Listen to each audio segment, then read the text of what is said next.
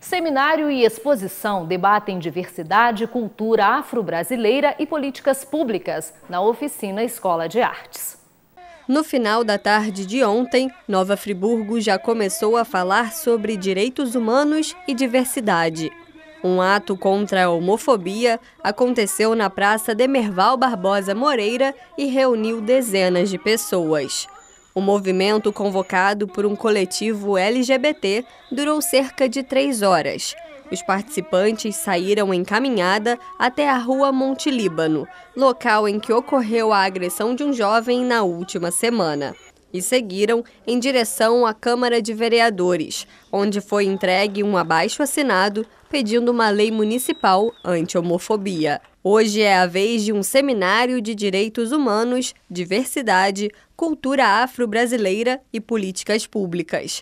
O evento é promovido pelo Centro de Cidadania LGBT Rana Suzarte e a Pró-Reitoria de Extensão da UF. O objetivo é debater e contribuir para uma sociedade igualitária. Além dos debates e palestras, o encontro propõe ainda atrações musicais. O seminário começa hoje à noite e segue até amanhã às 8 da noite, no auditório do antigo Fórum, na Praça Getúlio Vargas 89.